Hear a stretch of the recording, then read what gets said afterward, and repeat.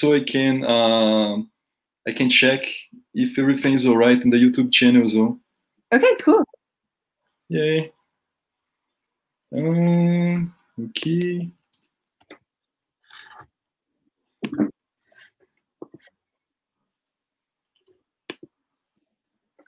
Okay. Great. Oh, let me just do that. Yep. Okay. We're live starting in. Great. Oh, let me just- Okay. I brought Vlad to give a help in the beginning. Hi, everyone. We're live. Oh, that's adorable. That's funny. Oh. How many lives have you done like now? Like so far, you probably have done like quite some, right? Like because you have other projects as well, right? Like in the Yeah, I, I've been doing a few for BatBnB, which is the Bat House okay. selling company that I'm working for. Mhm. But um, I've not done one specifically about the trip and like what I learned from it or anything like that. Oh. Yeah, nice. Uh, okay, I think more two minutes, so Yeah, we can start. I think and there are two people watching. I don't know if it's us or if it's someone else. Maybe just us watching ourselves. Yep. It'd be easy to answer the questions. Uh, so, so how is lockdown in Brazil? Is it um, is there a lockdown going on or? uh, so, we like under Bolsonaro presidents, we're kind of. I think we never went to really lockdown like here. Sometimes people call it lockdown, but nobody actually spend any time like inside. You know, like people still going out and going to the bars and going to the streets and celebrating. I think Brazilian people you can tell them you have a disease, you have anything, but if you tell them you need to be inside doors without meeting people, they go crazy. yeah, so people just Yeah. go yeah, it's hard to make. going outside. Yeah, exactly. yeah, it's it's it's bad because it looks like we're getting the second wave like here right now. Like so, looks like we're following the same path of the US. Like the US has increased, right? Like the the transmit the people, like but now, yeah, we're in the same going the same direction, like right now. Oh no, I'm sorry to hear that. yeah, the cases here have Yeah. been done quite a lot. Yeah. Yeah, it's, I think all around the world, like everybody was. I think it's predicted already in like in the in the in the, in the articles that um, people would go in these kind of waves of keeping inside and then going outside, coming inside, going outside, because of these Yeah. ways that things are going to spread and then come back. Mhm. Uh, okay. Uh, do you want to start now? Like, can you? So, okay, we are uh, live now. The YouTube channel with Emily Stanford. Uh, she has made a Watson Fellowship, uh, a year-long uh, journey around the world. About with uh, in how many countries, Emily? Like In nine countries. nine countries in total. Uh, where she was studying, investigating more a little bit about pot conservation, and she is going to talk with us about how this journey was, what are the challenges, first the personal challenges that she has faced, and then afterwards the more bat conservation threats and things more related with bat conservation, bat science, more towards the end. And then we're going to show a little bit of a, a video summing up all some of her experience and all the adventures that she has gone through during this year-long journey. Like, um, so can you tell us, start telling a bit about yourself, Emily? Where are you from? Um, where did you get your, your undergrad as well? Like uh, how this journey started as well? Like how did you heard about this fellowship? Where where this all this idea of traveling around the world for one year came from? Yeah, that's, that's a great question. Um, so my name is Emily Stanford. I'm from Texas, and I ended up going to college in Ohio at Oberlin at Oberlin College. And um, I actually got really interested in bats one uh, one year when I was I was hiking in a forest. And as I was hiking, I like had my binoculars pressed to my eyes. I wasn't looking at all where I was stepping. And so I ended up stepping down, and there was like my foot didn't like fell on nothing. So I ended up falling backwards. And I looked at what I tripped over, and there was a giant hole in the ground. And I was like, oh, that's so weird. So I looked in the hole, and something flew across. And I was like, oh wow, that, that was a huge moth. it had to be a moth. It was so big. um, but I wanted to see how, how deep the hole went. So I stuck a stick in and then all these bats started pouring out. And oh, at the time I was terrified. I didn't know anything about bats. So I screamed and I ran away and I told my friends like, "Oh, there's a weird bat hole in the ground." so I was like, "Oh, fine." So we, I'd take people back, we'd stick the stick in, poor bats, and more bats would come out again. Um, so after doing this a few times, I stopped. I lost my fear of the bats because at this point I'd only heard of bats as Halloween and vampires and rabies, so I was quite scared of them. But after seeing them up close, I realized that they're actually just kind of cute mammals. And when I started research about them, I realized how important they are for pest control, for pollinate, for pollination, and for dispersing seeds. And I think actually seeing how adorable that these that, you know these bats can be white, they can be orange or purple, they have all these crazy adaptations. And so learning how wrong my initial perception of bats was made me really passionate about them. So it's really interesting because many people never like get to see, or if they get to see a bat, they don't recognize that actually is a bat, right? Like, and how much this first encounter with a bat can change the perception of someone, right? Like about changing a whole life and a whole career just to follow a passion to study these animals, right? Like that's super interesting. yeah, yeah, I'm, I'm, quite lucky. I was so clumsy just to fall into it, to fall into this new group. yeah, passion can come in unexpected ways sometimes. um, anyway, so so when I was studying at university, I heard about this fellowship called the Thomas J. Watson Fellowship, and mm-hmm. it is basically a grant that they give people who create a project and the project is supposed to be something that you're really passionate about, but it's not exactly something that you'd go to grad school to study. So it's supposed to be a, an opportunity for you to learn something that you wouldn't get the chance to learn otherwise. And mm-hmm. the only rules for this fellowship is that you have to be out of the country for one year. You can't come back home. And you have to do it alone. So you can't have friends or family come visit you other than for two weeks in total. So, so support during this journey? Like, do you get any like people around, or like some, or it's basically you by yourself going yes. out and? So every year there are 40 students um, who receive it, but we're actually encouraged to not talk to each other, not to follow each other on social mm-hmm. media. That way, that our our year is really alone. Um, and we do have some support from the foundation like they would say oh if you ever an emergency you can call us or and we would email sometimes but Mm-hmm. really there was no oversight. There was no um, no one told us where to go or what to do so we had to really plan plan it on our own. Oh, well. And how did you get to know about the scholarship? Like how did how did this uh, how did you heard about it? Is it something that everybody knows about it in the us or something like came up to you? Like how did you started like uh, to hear about it and to develop the idea you know about applying to the scholarship yeah, so I I had gotten a pamphlet of like fellowships. So there's like Fulbright fellowship, Rhodes, different types of fellowships that you can apply to. And I read about mm-hmm. this. I was like, wow, that sounds amazing. And so the project can really be about any topic. Usually every year there's about three that are related to wildlife conservation, but mm-hmm. other ones are about fashion and music and and how you know things like how skateboarding can build a community or or, or, water access or women's rights. So there's a huge range of things that it could be about. And since I just had this experience about bats, I was like, wow, well, I wonder how other cultures view bats and how this might affect bat conservation.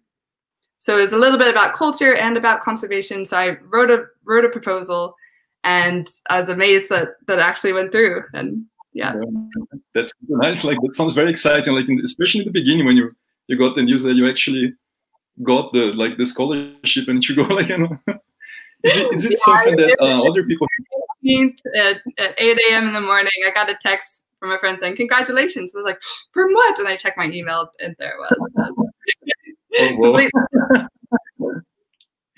yeah but, um, that, that the news was true yeah exactly is it uh, is there other people that in the past have worked with bats before, or you're kind of the first uh, person to actually got this scholarship to study bats as well? Like, or was there like a previous history of other people that have gone through as well, like to do, uh, that you are aware? Of? I'm, I'm not aware of anyone else who did bats, but I did read one other project where someone had studied shark conservation, how different cultures view sharks. So that's how I kind of um, got the inspiration for this project.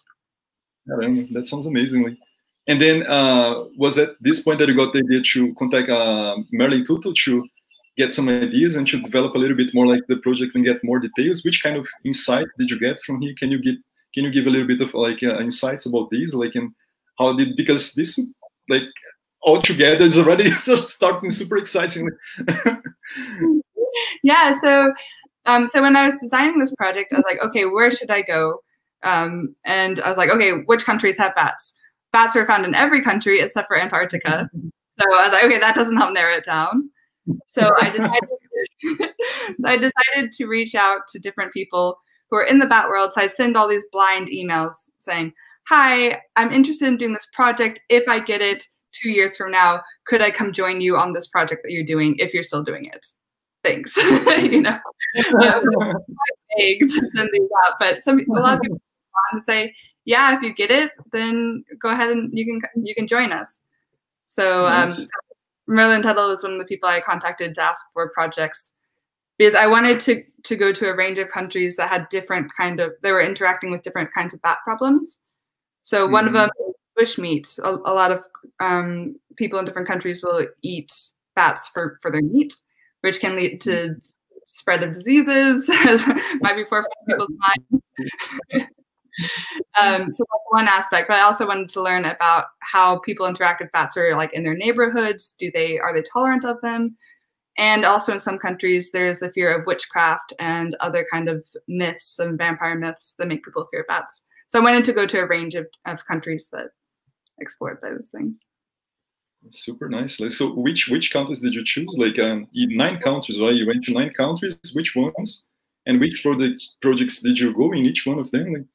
Yeah, yeah. My my plans often changed last minute. So sometimes I would arrive in a country, and then I got an email from the group I was supposed to work with saying, "Oh no, we don't have any plans anymore." So then I'd have to find. um, but it ended up so in Fiji, in Papua New Guinea, and Southeast Asia. That were I lived with a lot of communities that hunted bats, and mm-hmm. and so I just spend my time living with them and listening to their stories um, I went on a few hunting trips as well. and in in Australia, I talked with farmers who were really upset about bats eating some of their crops. Um, in Malawi, I spoke with a lot of people who were worried that bats um, are symbols of death, and if you see one in your home, it means someone's going to die. Um, oh, no. All this kind of uh, yeah, like the fake news that we hear like around like I mean, in general, like about that. Um, yeah, that that was super interesting. Like, did you see any difference? I mean, how? I mean, in many places, people perceive bats. I imagine as a, or and I said I've read like as a, as like dark creatures. You know, like all these uh, misconceptions that people have about bats. But did you see any difference between uh, the place that you have been, how people perceive the bats? For example, people who hunt bats, I imagine that they have a much more closer relationship with them, right? Like that they don't have these ideas of bats as maybe vampires, like maybe the legends never even got to some of these places, right? Like what was the how did you see this the perception of the people differ between these places? Yeah, absolutely. That's a great question. And that's absolutely true. The people who did hunt bats, um, when I was interviewing them, I'd say, "Oh, well, are, have you ever been scared of bats? Have you heard any scary myths about bats?" And they're like, I would be scary of them. They just taste good.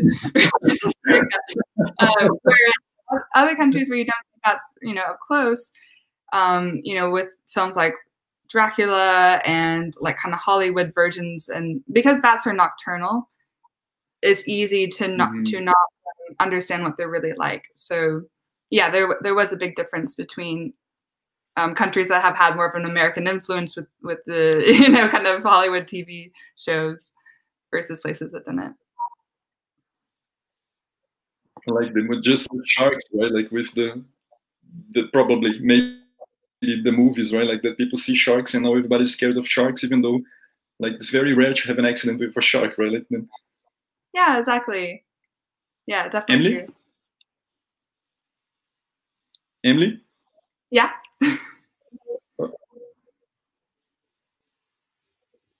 Hello? Okay, sorry. No, just because I think I lost you for a second, like in the in the in the video call. Hello, Emily. Are, can you hear me? Yeah, yeah. Yeah. Okay. Okay. I think now it's better. yeah. and did you go to in, in, Latin America as well, right? Like you went to Papua New Guinea, to Australia, right? Like Malawi, uh, mm -hmm. Madagascar as well, right? Yes. And uh, did you go to Puerto Rico as well, right? Like, um, no, I had I had for a previous year for different bat research. Okay, okay. And where did you go in? What were all the countries again? Like that you you went to uh, Fiji, uh, Fiji, Papua New. Guinea, Australia, Malawi, Madagascar. Mm -hmm. um, Thailand, Cambodia, uh, India. Thailand. Okay. Mm -hmm.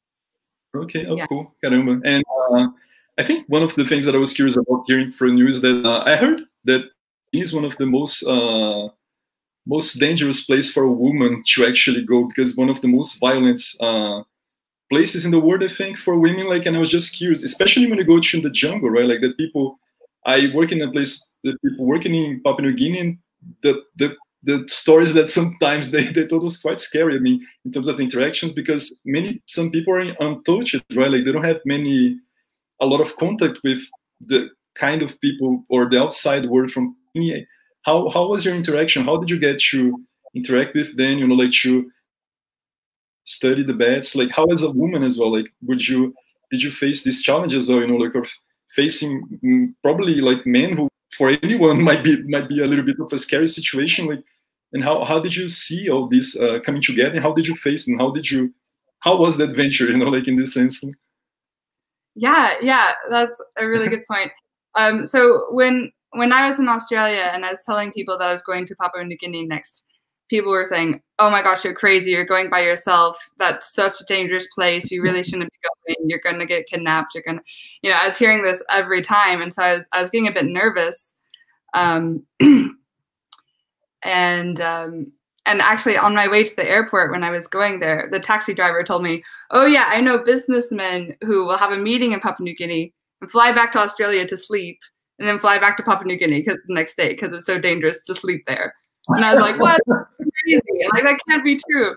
Um, so I I was quite you know I, I thought there might be some kind of risk with me going, but I was I was really too excited too excited to miss the opportunity.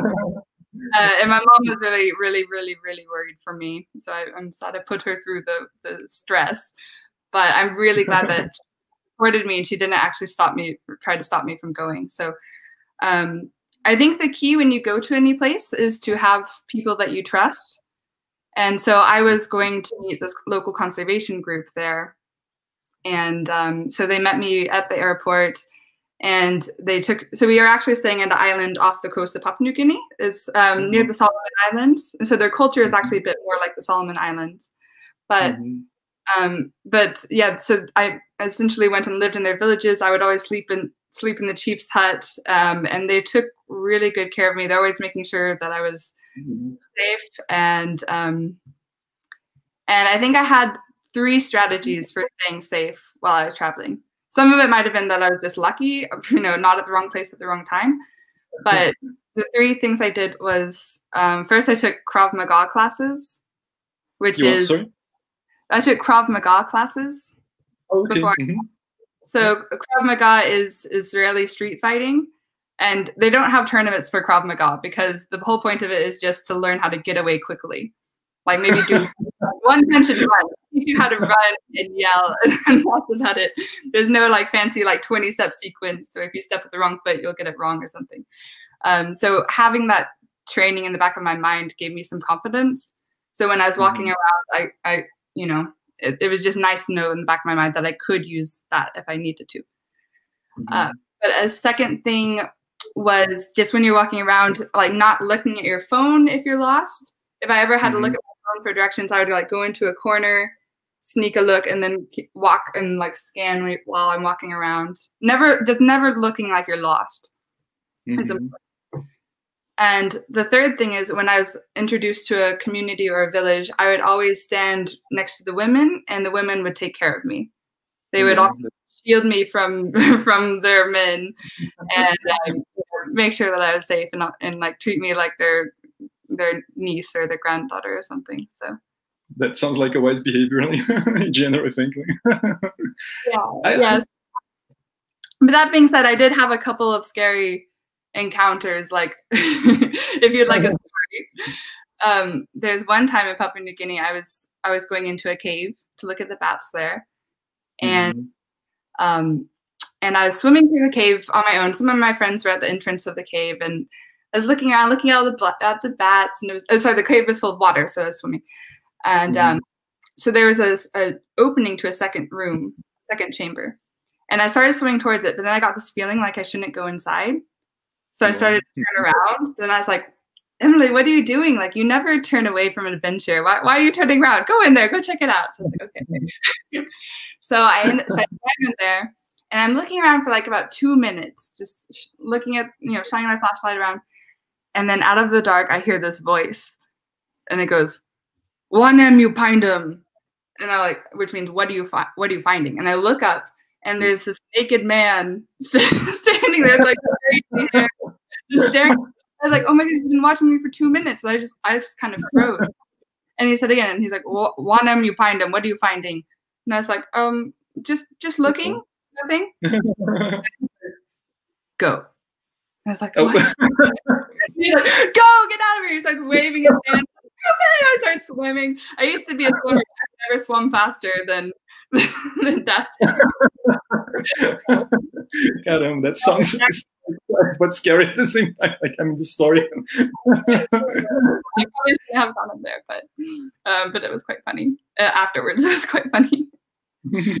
That's, a, that's an interesting story, especially. I, I want to just give a, a, to get the opportunity to ask something that was I thought when you you started telling about these things that you sounded very excited and very adventurous um, woman. Like, and do you think that this, in the end of the whole year, it got this kind of spirit, like got you more into trouble or got you more into more uh, good stories? You know, like because curiosity and adventure, this is all part of like the the life of a field biologist. You know, but when you are out in this place that it, they can be quite dangerous, I think you also need to uh, balance a little bit with other um, skills mm-hmm. as a bit bit cautious sometimes. But if you're too cautious, you miss all the fun as well, you know. Like, but but there's I think there's a, a little bit of a balance, you know. They cannot be maybe too cautious, but maybe yeah. if you're too adventurous or too excited, I don't know. It's like you know, like when you uh, going out and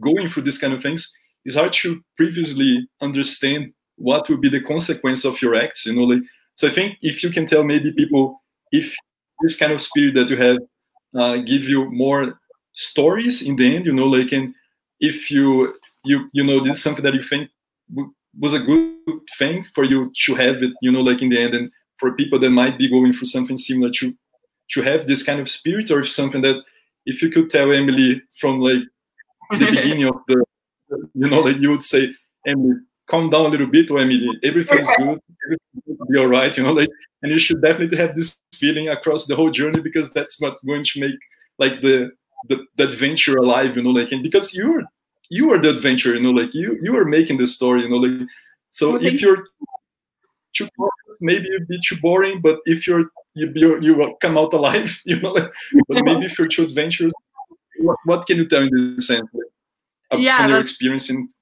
namely in the past, you know, like starting the journey, like or people. Yeah, I, I think looking back, I probably was very careless sometimes.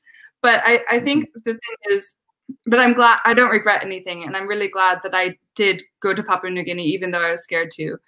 Um, and you know, again, I could have just gotten lucky that I nothing bad did happen to me. But I think when you're traveling, especially if you're going to new countries where you can't speak the language, you do get really good at kind of noticing um, subconscious mannerism, like reading body language.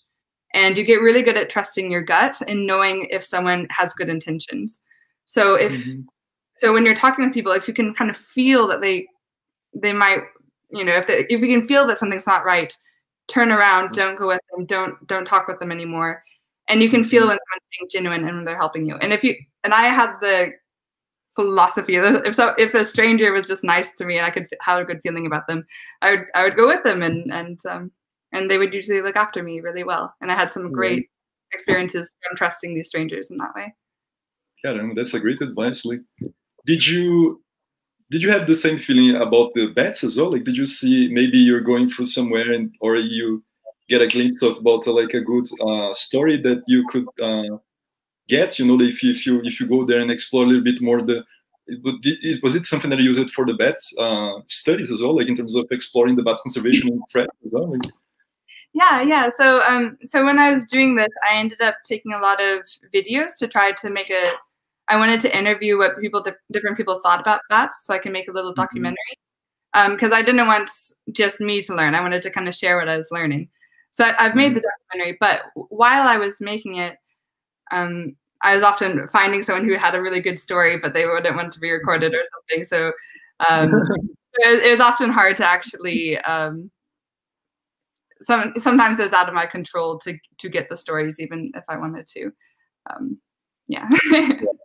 also, I didn't have a translator with me, so that also made it difficult sometimes. yeah, the, the, like the, there's a, a device that you just I think I, heard, I saw it somewhere that you can say, and they translate like automatically into a new, like a new language, like the, the language there.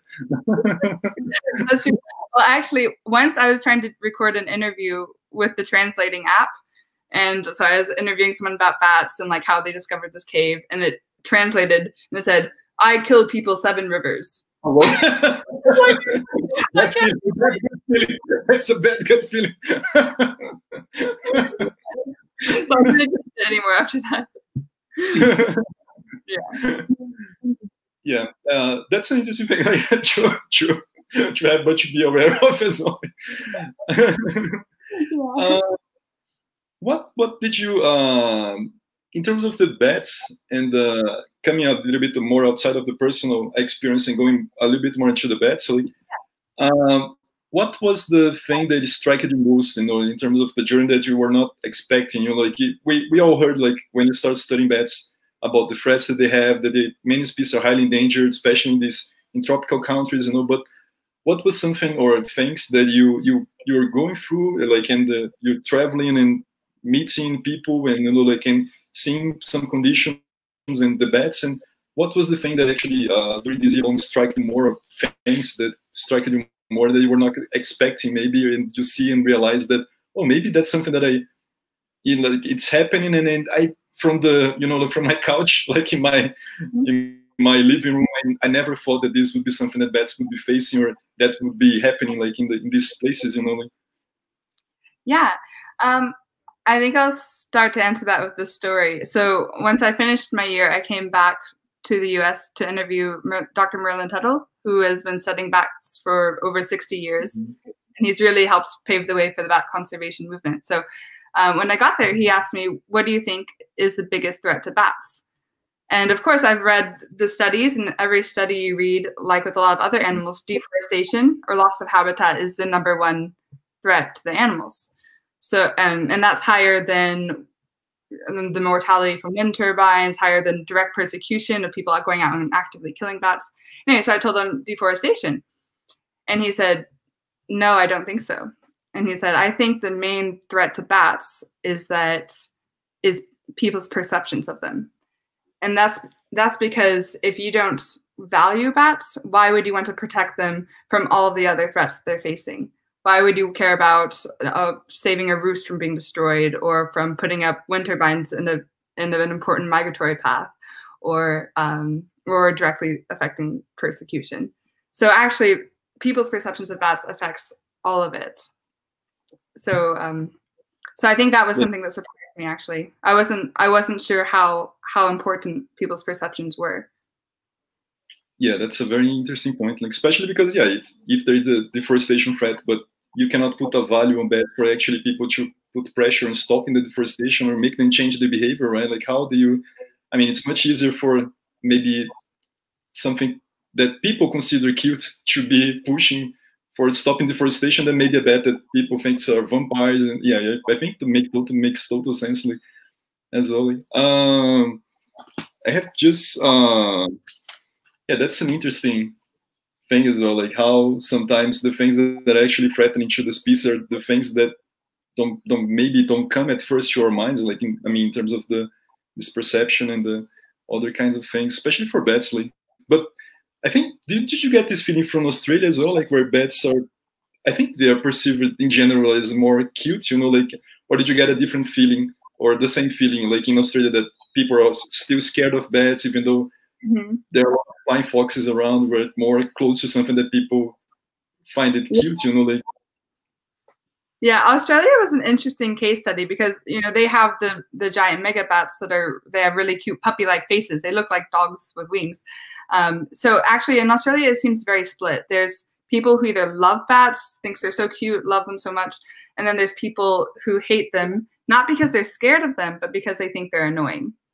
Because oh, they're quite squawky, they poop on their cars, um, so people don't like having them in their neighborhoods. But the reason they're in their neighborhoods is because there's been so much deforestation happening. The bats have nowhere else to go.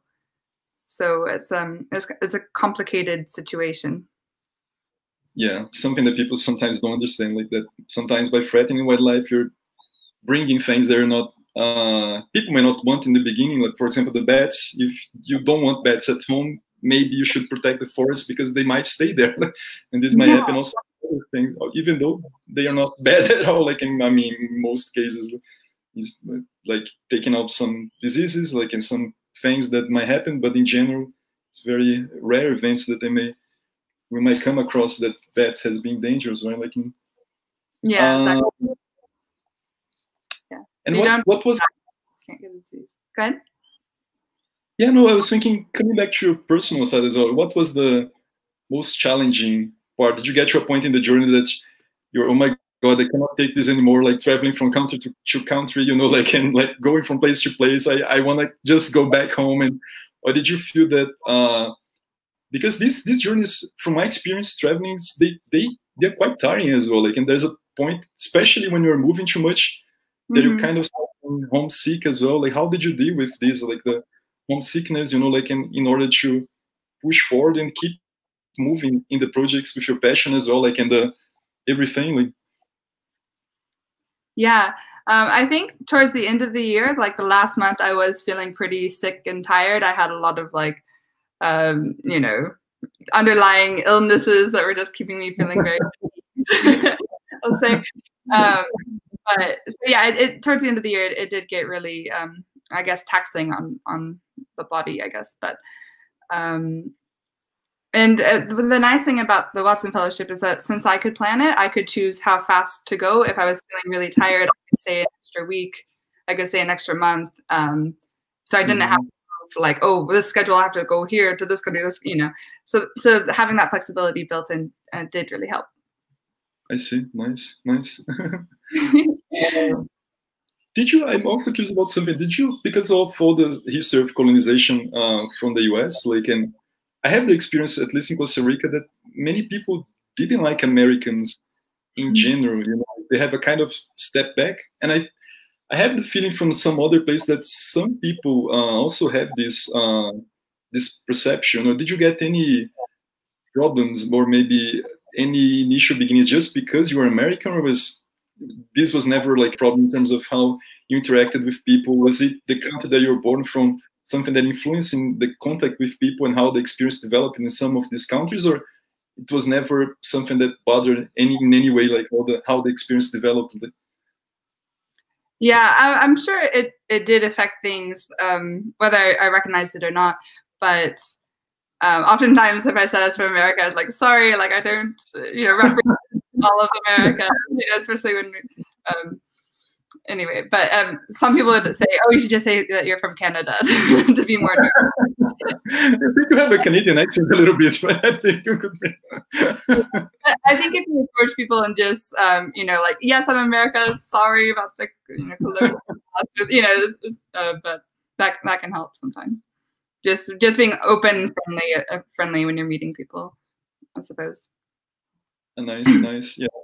Because yeah, I have my my daughter is American, and I, I'm generally curious about what impact she would have in the world. I mean, how people would perceive and how kind of which kind of problems she, she might face just by being an American, you know, like because so here in Brazil, some people have this now maybe less because of Bolsonaro, but I think in general people have a little bit of a step back. Maybe like in Costa Rica, I felt it a little bit, you know, like some people were in some place of the world. I'm just curious as well about how this could be something that could play a role in terms of how you interact with people, or something that I mean, in the UK as well, like the people that I met there, sometimes people are traveling, they're just complaining because they went to the former colonies of the UK, like, and people really don't, they would say that people didn't like it just because they were British, because they're, they're from the, and it, it's something that we don't experience very much, like, from being Brazilian, I think it's mostly like the opposite. So just curious about hearing how this, uh, this uh, was as well. Like, and I, I was curious about, um, so I think there's a lot of uh, there's a lot of uh, people uh, treating women like in a in a in a well you you for sure can tell much better than I do like but I uh, like but from the experience that I have gone through like but which kind of advice would you give for uh, maybe men you know as well? Like you're traveling around like you know you're a solo woman like and a man is also traveling around. Sometimes people uh, they have these ideas of what a woman is by just by traveling around like alone you know like and what would you tell to these people? And also which kind of advice would you give for someone who is uh, truly willing to support someone like a woman traveling around without any kind of second intentions or any kind of like uh, you know like uh, hidden like intentions in terms of the the contact or any you know want to develop into a better person and to wants to support women in science and also traveling the world in a good way. Like which kind of advice would you give to these people as well? Yeah i for would men, say for women probably yes as well but mostly for men as well mm-hmm. i think i would say um, just don't discourage people. If someone comes and like voices that they have you know um, this goal or this dream uh, even if it's crazy and or or ambitious or unique or different don't say oh you can't do that or like good luck or, or you know sarcastically good luck um, because just having a little bit of if people tell you you know don't dismiss your ideas straight away then they can actually grow and you would you would probably be surprised to to realize what you could do i suppose so um, just being mindful and like kind of accepting what and listening to people when they say they have a goal. Mm-hmm. Yeah, that's a great advice. I, yeah, especially for like women that have been told for so many decades and centuries what they should be doing, what they shouldn't be doing. Like, and well, there's a lot of other cases as well, like in ethnicities, but uh, yeah. Oh yeah. Oh, actually, uh, one thing I did find when I was traveling, when I'd meet people, they're like, "Oh, so who are you traveling with? Like, where's your husband?" I say, "Oh, like I don't have one. They're not here. I'm going by myself. And then um, they say, "What? Oh my gosh, you have to come to my house. I have to take care of you. Like you can't be on your own. You. You're coming to my house. We'll we'll arrange everything." That was the response I got a lot from people, from random strangers. Oh, well. that's impressive. yeah, but... I might have just been fortunate in the people that I met, but but yeah, actually. yeah, it's interesting that sometimes people probably just it's it's kind of also their way as well of trying to take care of you as well, right? Like because they might imagine that you might be like in the kind of uh, worry situation as well, right? Like yeah, yeah and, exactly.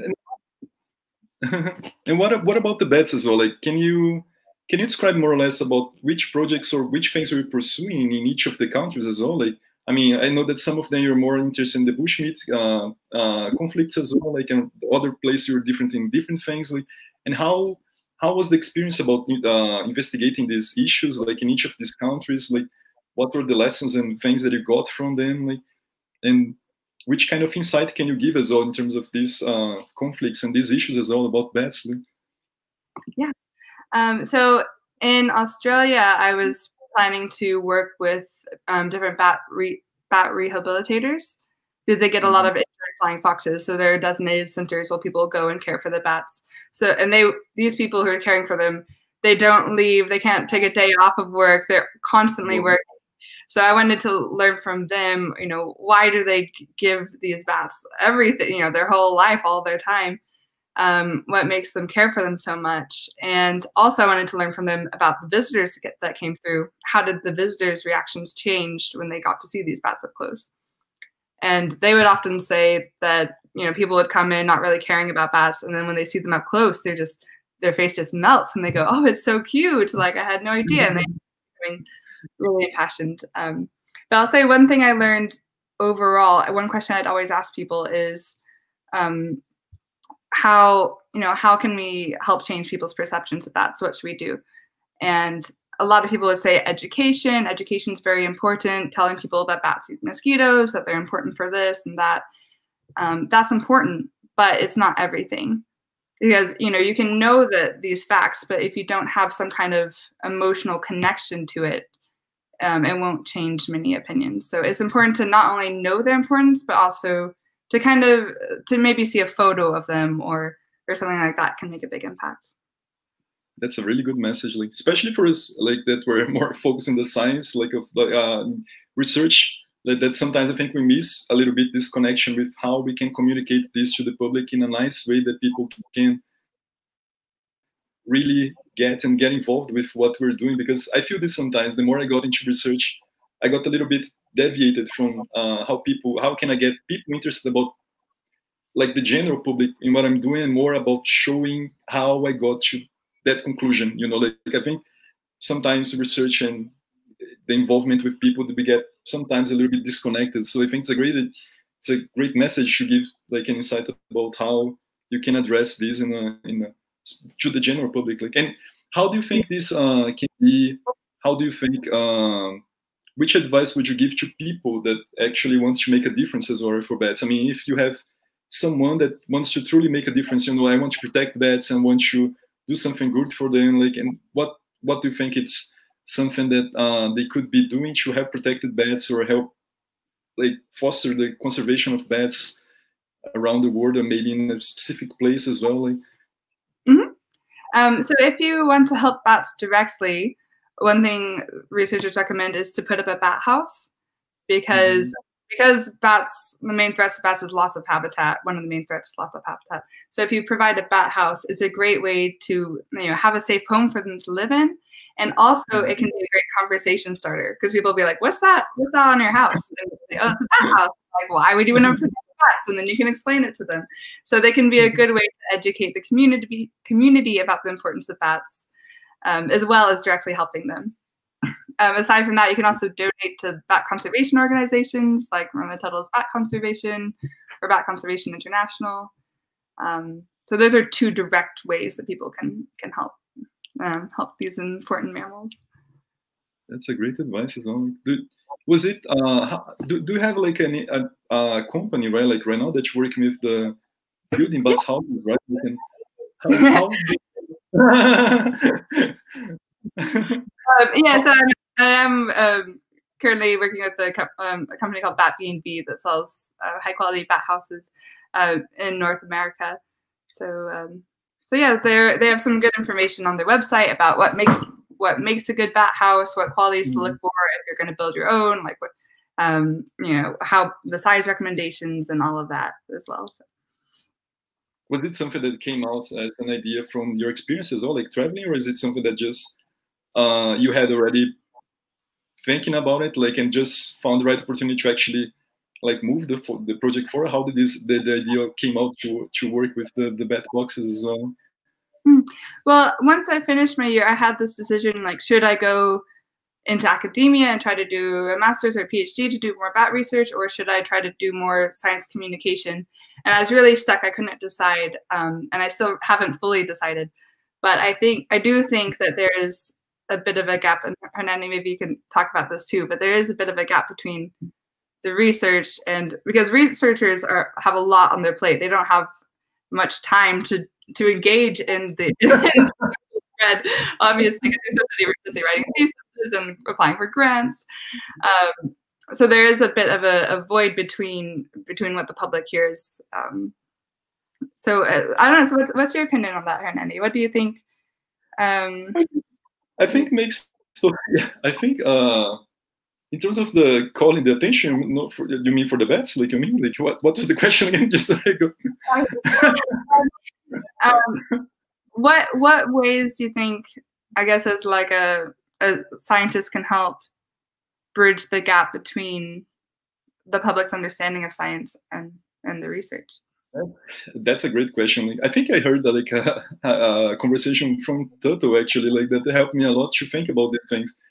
Because as a scientist, it's very hard to convey people from ideas, like pure ideas, you know, that for us scientists were common about, were used to think about them. You're like, oh, bats, you know, they provide the system service, they're important, we need to preserve them, you know, but but mm-hmm. the general public, I think they need exactly what you said, like they need they seem to need something more personal you know they need some kind of like a, a personal touch you know like an emotion to to actually get involved with something and they need something that can come down to their world. you know like i think science is still too ephemeral like for most people you know like i think if you say ecosystem service you're already saying a word that people might many people don't have any idea what what that means you know like i think if you say the you know like to the guard like here in the the, they don't know what ecosystem service is, you know. But for us as a scientist, this is something that oh, it's a word that you need to say.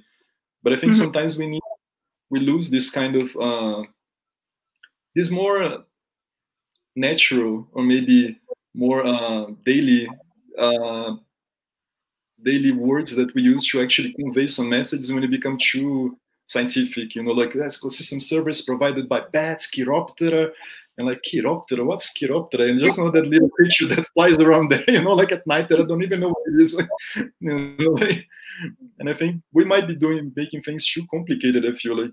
But I think um, yeah, I, I, remember that Toto was saying to some to a, a, guy like in a cave. There's a story. I think maybe I got it from you, like that from one of the stories that you were interviewing Toto, like that uh, he was saying that he went to a cave. There were bats, like in a property in a farm, and he just said to the guy, "No, there's a lot of bats here, and these bats eat insects. Look at the, all the moths that he's eating from your the crops that you're planting." You know, like, and suddenly the guy became a very big like conservationist, like bat conservationist. You know, like, and I think we need more people like like Toto to actually get this message, like to people instead of just. I feel that some people might criticize about what I'm saying right now, but I think sometimes living the days that we're living right now, we might be focusing. Sometimes I have this feeling too much mm-hmm. on the science and too few on the actual protection of and conservation of the bats. You know, like I know there's a lot of things that we still need to understand to protect and well, and there's a lot of gaps and a lot of things that we still don't know.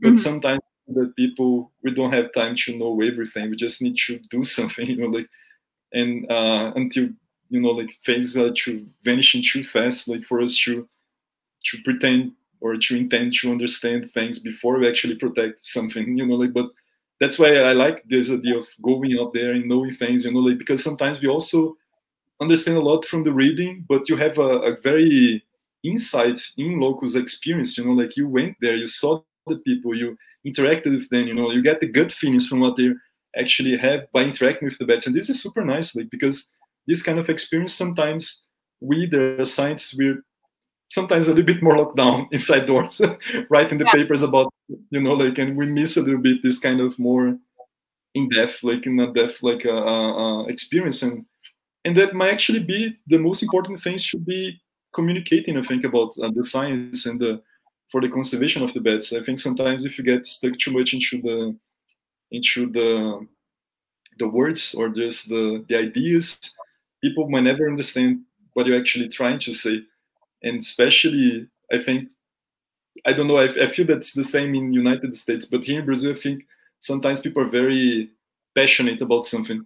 So if you if you cannot make a link between what the message that you're trying to say and the people that you're trying to address, they might not get the idea that you're trying to give. You know, like you, you might be trying to say, oh, that's important because of this and that and that.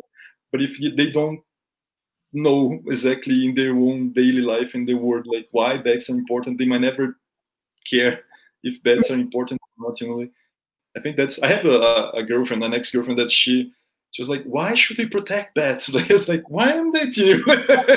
I'm just kidding. she was a.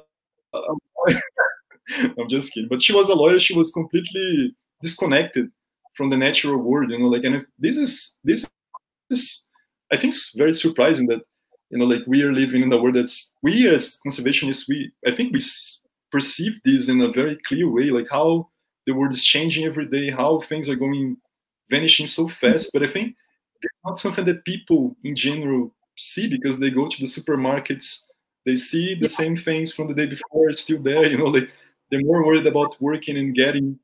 And the, the but the changes are coming. I think in in Brasilia, uh, mm-hmm. I 20 years ago, I used to tell my mom, like, uh, maybe I'm, I'm, talking too much. I want to hear about you as well, but just the last thing. yeah, the, the my mom, I used to say to my mom, we're going to have problems with water here in the capital because we're cutting all the forests around and this is connected with the rivers, like how, how they flow. And that's no, you crazy. How, what are you talking about? You know, like, and it's my mom, she grew up with me as a conservationist. And then three years ago, we started having cuts in the waters, like here in, in in Brasilia. So it's interesting how uh, I think how sometimes we see these things in a way that people in general they don't they don't come to to see them. You know that they just they see the the they see the consequence of the change, but they don't see the change themselves. Mm-hmm. And sometimes they don't connect. They don't connect that we're losing, we're cutting water because we have cut the forest before, and now we're facing the problems, the consequence of this, you know, like, and this is something interesting as well. Did you come across something like this in your journey as well? Like, did you see a place where people might have had consequence of something related with bad issues or conservation that they didn't make the link between things, but they were facing the consequence of something that they were actually uh, there was consequence of some change in the environment, maybe, or even the maybe some bad species that they don't see anymore. They used to hunt, but now it's rare. Like, did you came across any of these uh, across your journey as well? Like? Uh, yeah, so I guess a good example of this is in Australia. Um, they've had rampant deforestation. I think I think something like eighty percent of their forest cover has been cut, and oh, so because of this, like I mentioned before, the bats have been moving more into urban areas where there's water, living in fruit trees, and this causes conflict because people are like, "Ew, they're noisy, get them out of here." But every time they try to mm-hmm. make noise to disperse them, they have nowhere else to go, so they keep keep staying where they are. Um, so that's a consequence of a past action that's having a new new created a new issue that they now can't deal with, other than continuing to try to kill them um, in some mm-hmm. cases. So so it, it is a problem and it's, it is really hard with these kind of long-term scale consequences that that people are not directly you know seeing day to day is a huge problem yeah, remember uh, a word that I said that I saw once that I think it's the generational shifts. Like that, usually the past generations they don't know the the the upcoming generations they wouldn't know what we had in the past generations. Yeah. You know, like, like 30 years ago we had much more force than we have now, but the generations that are coming now they haven't uh, grown up with this. So maybe some some issues might be related with this as well. Like some of these changes happen so fast that the new generations are not actually even understanding what they're yeah. or what right? Yeah, that's why I feel like film is a very important aspect in conservation to show uh, people what what these issues are and, and what we're losing. I think film is a very powerful tool to bring because more and more people are living in cities, so it's important to bring people and bring the nature to people. That's a good point. City people. yeah. Yeah. Is it something that is this something you have also? Uh, a movie uh, company with your fiance, right? Like the that you started together, right? Like a project like together, right? Like can you is it something that you, you you're planning to address or you're trying to address like conservation issues with the movies that you're creating together? Like it's something that you think about the future, it's something that it's completely it's something else. Like yeah, um, so so during my year, um, I, you know, I started make, filming these interviews to try to make a documentary. I've, I've never done any kind of video editing before this, but um, I was filming all that on my iPhone because I was like, oh yeah, the video is good enough on an iPhone. um, anyway, so, yeah, I realize now that it's not good enough, but I ended up making this documentary called The truth about bats. And um, when I shared that, I got so many people saying, "Oh my gosh, I had no idea that bats were so important, and now I really care about them." And so, seeing how transformative that was really inspired me. So now I've kind of um, upgraded my skills in video editing, and I've created a video production business called Wandering Path Productions. And I hope nice. to um, continue making films about conservation to bring bring this awareness to people um, you know, either as a side hobby or, or as a half of a career or something. we'll see. it's nice that I have a question uh, related to this. Do you, do you think that the movies itself, they, themselves, they can make a big change in terms of the perception of the people, or people really need some kind of like insight experience? Do that? Do you have an experience that mm-hmm. any of your movies or other movies that people have seen about bats in a good way, like that they not in the bad way because I think in the bad way we have already kind of. well, I, from personal experience, I feel like some of the documentaries I've watched, it makes me feel like I've actually been there. It makes me feel like I already know the characters in the films. Um, so I think film is a good way to um, to kind of immerse someone in a place without them even having to leave leave their house. Mm-hmm. I think a, yeah, I think we're in a good point to actually show the your video about your experience, like across the, the different places, like so people can have an idea about what you have gone through, which kind of some of the adventures, like from the Watson Fellowship as well. What do you think? Sure. Sure. Yeah, this video is more of a personal um, kind of summary of some of the things I saw and and, and experienced. But um, yeah, if, if you want to share, feel free. It's it's um, a three minute video. Let me just. Uh, I would also suggest that you all check out the documentary "The Truth About Bats" because that summarizes the the bat conservation. Um, it okay. kind of summarizes what I learned about bat conservation during that year. Okay, I'll put that on the description of the video afterwards as well, so people can have a look. So, okay, so this is the video from this is the video from Emily about her uh, year-long experience, like in the Watson Fellowship.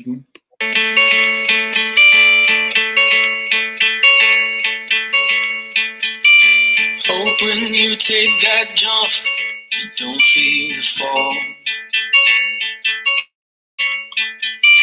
Hope when the water rises, you build a wall. Hope when the crowd screams out, screaming your name. Hope if everybody runs, you choose to stay. Hope that you fall in love and it hurts so bad.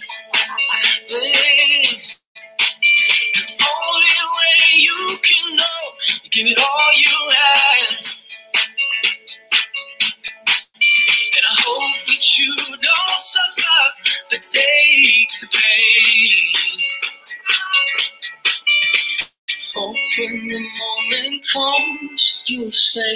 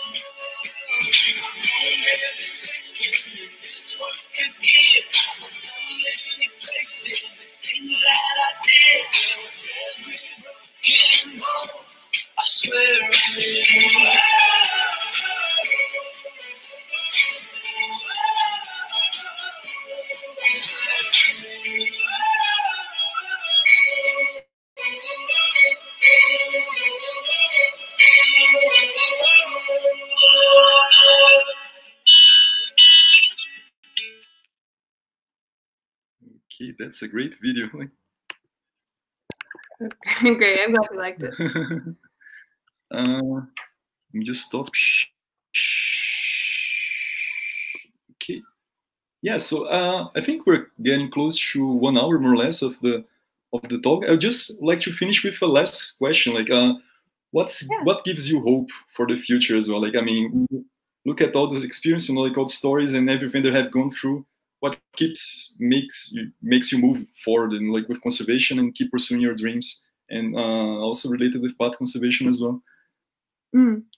Yeah, I um I think uh, when you read conservation papers, it can get quite depressing seeing seeing the weight of how many species we're losing, and and how quickly we are. But on the flip side, um, going out and, and and talking to people and seeing how how easy it is to for people's opinions to be changed and how many great programs there are working to save bats and how many um, you know um, with you know with the internet and like it's so much easier to connect with people and to build uh, movements around around the issues that need solving. Um, i feel like the information and and this can be spelled can be dispelled a lot easier nowadays. So so that I think that does give me hope that that um, bats can be saved. Hopefully.